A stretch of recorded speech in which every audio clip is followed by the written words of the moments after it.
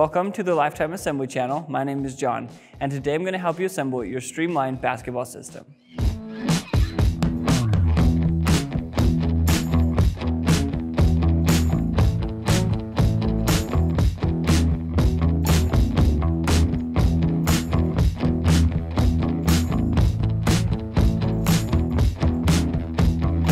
This video will follow the steps outlined in your assembly manual that comes with the basketball system. If you've already begun and need help on a specific step, check the comments or description below for a timestamp associated with each step. Now let's take a look at what's inside the box.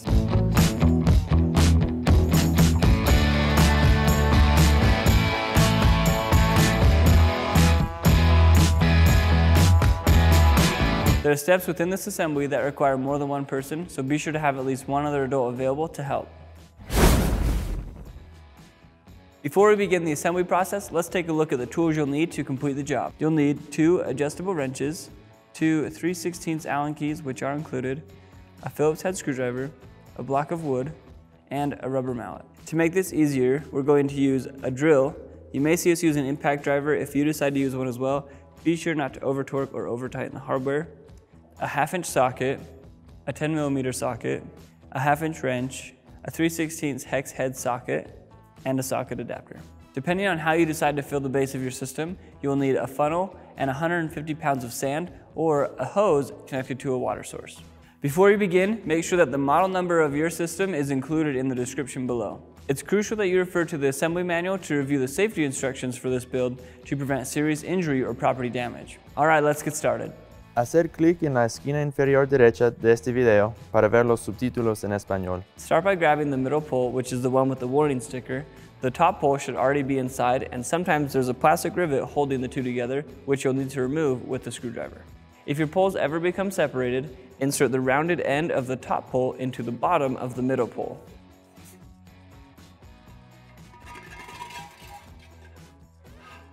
Pull the top pole out of the middle pole far enough to clear this hole down here. Then add your hardware.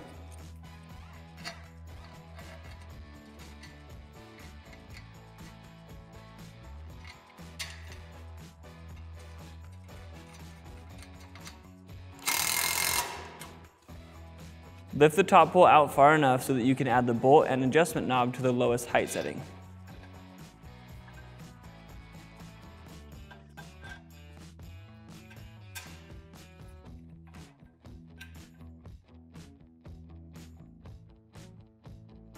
Align the hole at the bottom of the middle pole with the slot at the top of the bottom pole, then add your hardware. It's normal if the screw spins freely.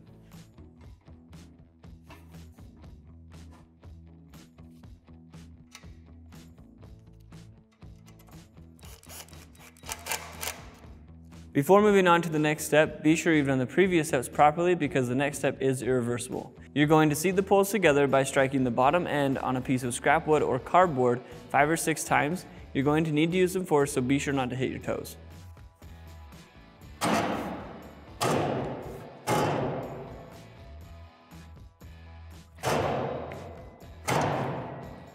It's crucial that you complete this step, otherwise your poles could separate during use, causing serious injury or property damage.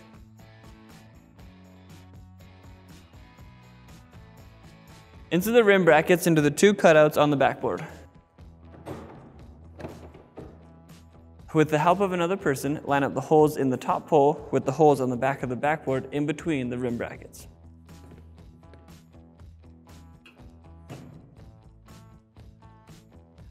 Insert your bolts through the holes from the front side, making sure that the fully threaded bolt goes at the top hole and the carriage bolt goes in the bottom hole.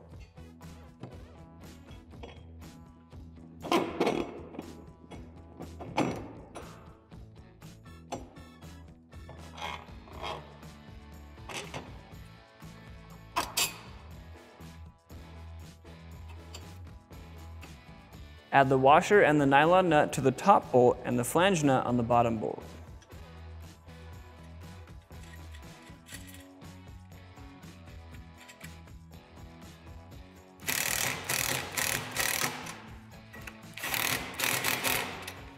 Secure the rim bracket and the rim braces to the pole with the hardware.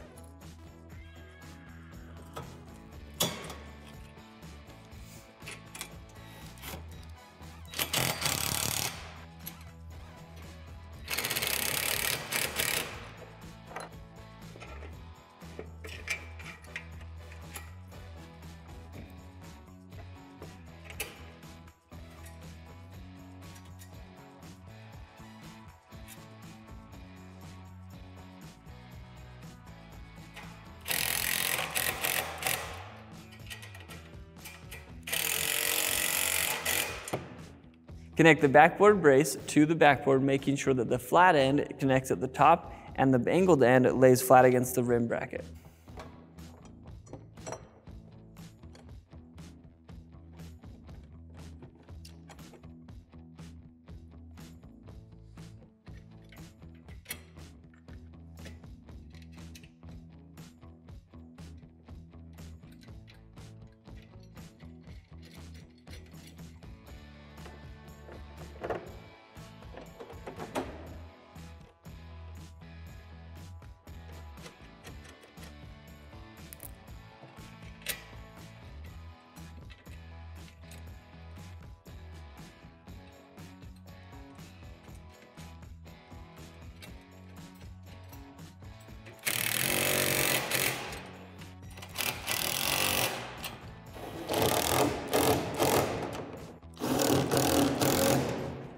Once you finish tightening the hardware, go ahead and lay the assembly on its side.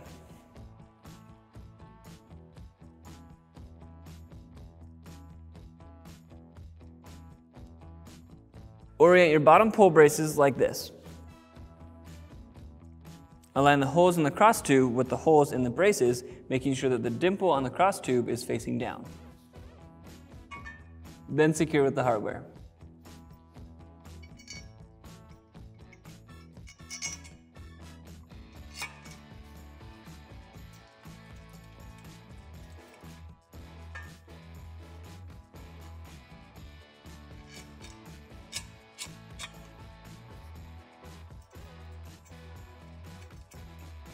Be careful tightening the hardware. You don't want the screw to break through the cap nut.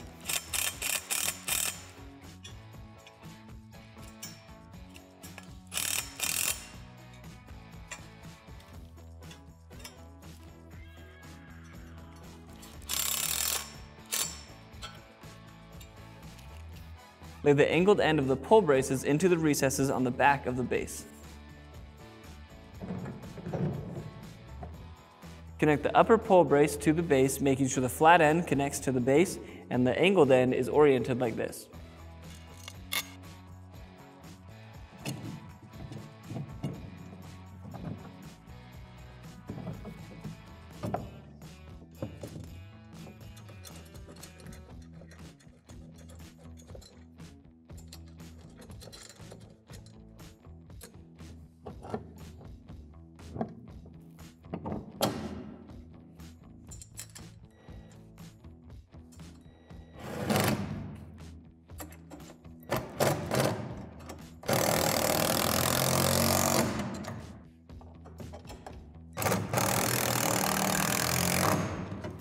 With the help of another person, insert the pole plug into the bottom of the pole oriented like this.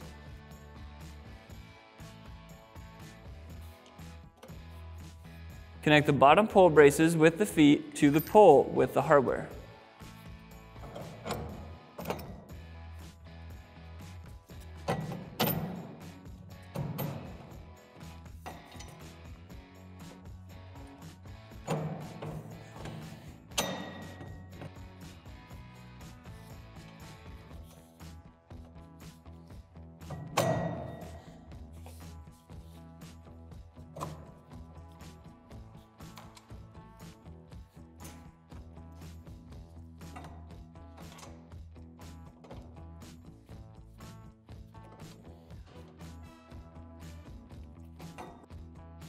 Connect the upper pole braces to the pole with the hardware.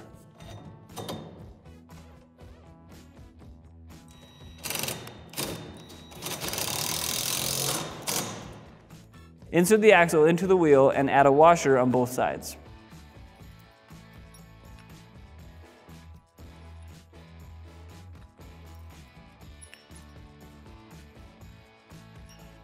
With the help of another person, tilt the assembly forward so that you can place the wheels in the cutouts under the base.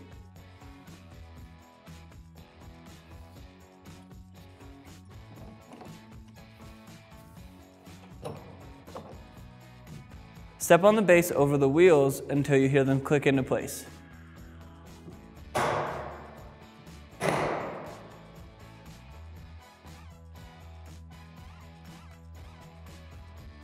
Now go ahead and add the net to the rim.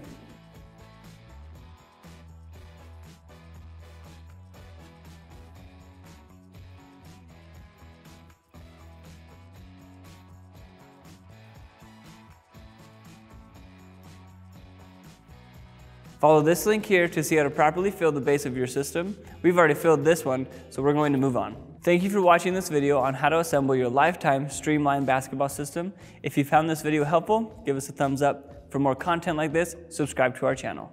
If you have any other questions, feel free to reach out to our customer service team and check out our other awesome products at lifetime.com.